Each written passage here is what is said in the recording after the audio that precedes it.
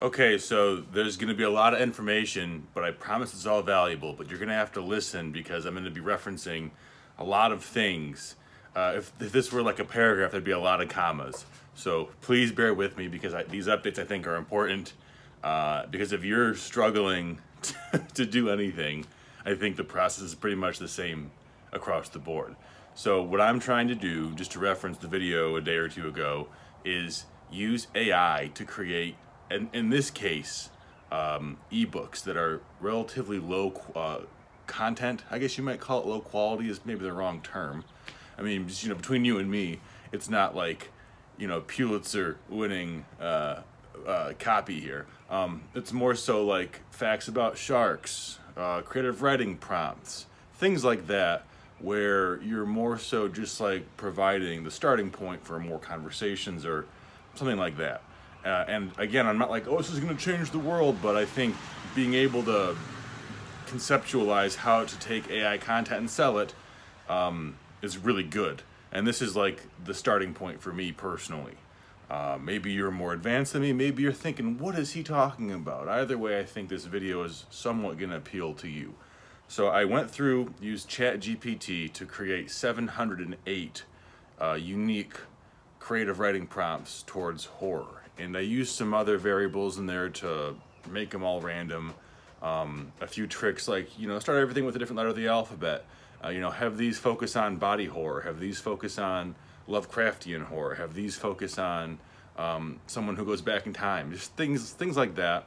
Uh, and then I randomize them in Google Sheets. And so I have my sheet of a randomized list of passable, you know, none of them are like stupid or duplicate or nonsensical writing prompts. So we have that. And now my thought is, okay, I have to take this and format it into an ebook form. And that's really simple. Um, you just have your title page and I can use Blue Willow to create um, a picture, you know, or, or some kind of template for an image that I can then adjust in Illustrator or Photoshop to be my, my template. I'll put some text on there, call it 666 horror prompts, something like that, and then have some bonus ones there's a whole lot of marketing that we can get into once the product's actually finished.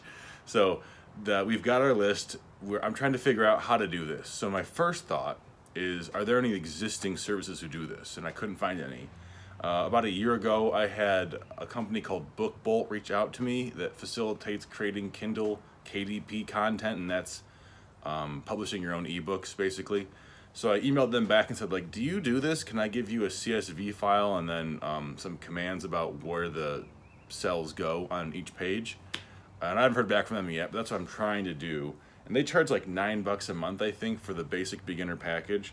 And so in the back of my mind, I'm thinking, hey, if I can do this, can I actually sell it as a service as well? Like five bucks a month, you can have unlimited uh, ebook formatting because what I'm doing now, and the reason I thought of this is after I didn't get a response from BookBolt, which it's been like three hours. I'm not saying I expect a response immediately.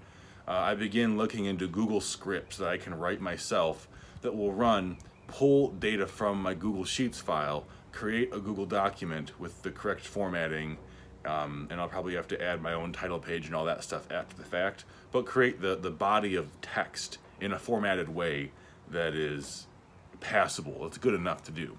And so I don't really know JavaScript. That's what you would use for this. At least I think it's what you would use. So I went to ChatGPT and said, write me a Google Scripts code that does this. And it wrote it out. It's only like 40 lines or so. Um, I'll put it on the screen, I guess, so you can see how it looks because you're not really going to understand it if you don't know what this stuff is. And if you do know what it is, it's going to be very basic to you. But I have that, and I put it in, and I keep getting these same errors over and over and over again saying that this script cannot access my file or can't find my file. So I'm working through that. I spent, it's like one o'clock now almost, and I have to go in and do, I have to ship out 25 orders. So I'm gonna put, you know, leave that for now. When I get to my warehouse, I'll probably post the code on like Reddit or Stack Overflow or something like that and see if I can get some free advice from people like, hey, why is this not working? I think the code is sound why can't it get my spreadsheet with the correct name? And hopefully I'll get a response on that because when I made the Bo Candy website and I made the Bo Jerky website and I made all these different websites, subscriptionboxes.co, all this stuff, at this point almost like 10 years ago, Um, a really big helper was just people online who are experts in their craft. And yeah, what I'm asking is so simple, and basically they can just rattle off a response and give it to me. If that doesn't work, then I'm gonna have to go the Fiverr route or freelancer.com and pay someone to do this. I don't like doing that because, especially on freelancer.com, it used to be great a few years ago, but now it's these agencies, I guess you might call them, who are all based in the Philippines or Bangladesh, and they're just giving you extremely lowball offers on your bids, and then once you accept their bid, they try and renegotiate, and it ends up taking way more time than it's worth. And so I might go to Fiverr, I might find a different freelancing platform that I haven't used in a while, and see if I can get someone just to create a script that way, because it wouldn't take somebody who knows what they're doing more than an hour of time to do this. And so I, I can probably get it for like 25 or 50 bucks. Um, I don't have a budget for this project. Maybe I should if I start spending more and more money. But for the time being, I'm just kind of treating this as like a learning experience or exercise. And do I have any expectations about if this creative writing prompt book sells copies? I think it'll sell a few over the years, but I don't think it's going to be the kind of thing where I'm making, you know, five figures a month of passive income, was what you'd call it, I guess.